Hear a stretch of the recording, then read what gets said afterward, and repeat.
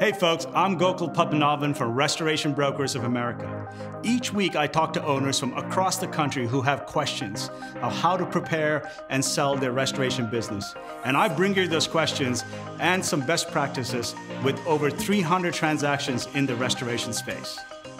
Okay, so the second of my six value drivers, growth potential, right? So buyers will pay more for a business that is growing or has more growth potential, or they can see themselves grow than they would a business that is declining or stagnant, right? You hear me talk about this a lot where you have a growth curve of a business, right? So business actually starts up, then it kind of gets into this high growth uh, or kind of like a plateau phase.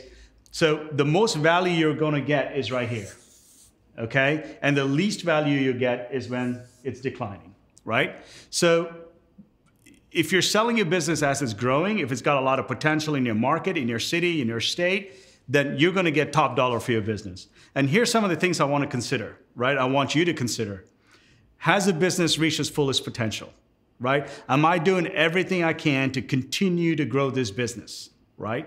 And an easy exercise, I actually do this with my own business, is, you know, if you had $100,000 today, or if I gave you $100,000 today, how will you grow your business? And hopefully that will give you some creative ideas and, and, and maybe a, a good sales plan where you can kind of get back on this growth phase to increase the value of your company.